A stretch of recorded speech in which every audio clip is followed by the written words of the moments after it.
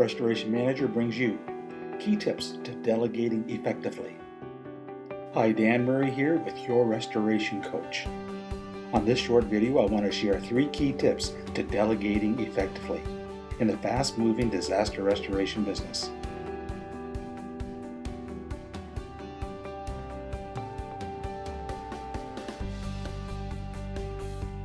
On the first section, here are the tips on training to be better at delegation. Identify responsibilities you can assign to others. Budget extra time. Appreciate the skills of those around you. Practice asking for help. Section 2 Communication Tips. Clarify your expectations. Ensure you are on the same page. Share your knowledge. Remain available for consultation. Encourage accountability. Section 3 Follow up Tips. Schedule progress reports. Offer sincere praise. Expand your efforts.